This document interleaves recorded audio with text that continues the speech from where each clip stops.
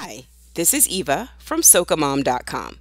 This Thursday, April 9th at 9 p.m., the Caribbean Book Club will be chatting live via Google Hangout with the author of Somerset Grove. She's a Jamaican author and attorney. Here's your chance to ask her questions and hear her story. Use the hashtag Somerset Grove or Caribbean Book Club to ask your questions and join in the discussion. You can also watch on YouTube or on SocaMom.com.